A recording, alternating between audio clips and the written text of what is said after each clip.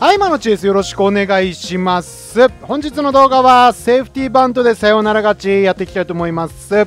えーちょっとまず難易度ね、えーマックスでやっていきます。で、速報プレーの、えー8月の20日のやつですね、三好選手でさよならを決めろっていうのがあるんですけども、えー今、二塁にランナーがいまして、野間選手なんですよね。なんで、三好選手でなんとかセーフティーバントを決めて、えー野間選手、返します、ランナーに。返します、ホームまで。はい。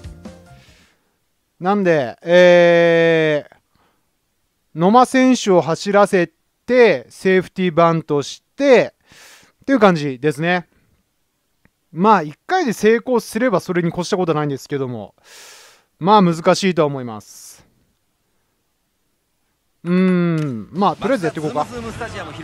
まずは能力チェックですな。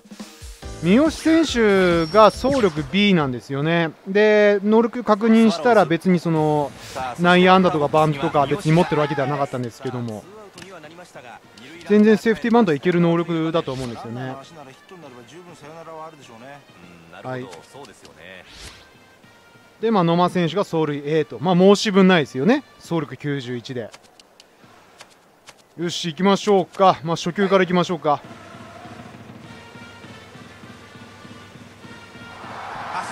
え？ーは三塁へ。三塁二回目。絶好の場面です。流れは来ていると思いますから。こランナーセーフティーバントだ。左方向。しかしこれはファウル。セカンドランナースタート。キャッチャーこれ、三塁タッチアウト。盗塁失敗外してくるね。走ったら外してくんだ。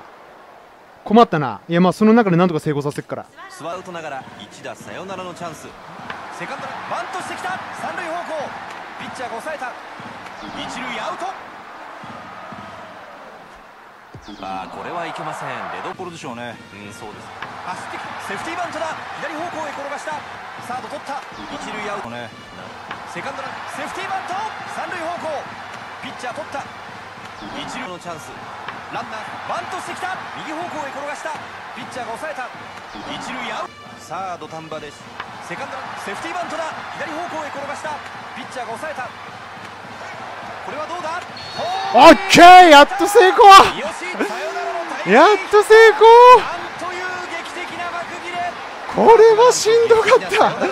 全然セーフティー、うん、セーフティーバント。全く成功しないんだよ。すげえ大変だったこれ。あのね本当にね、えー、何とも言えない言葉が出ないぐらい嬉しいんですよね。あの帰り気をつけて帰ってください。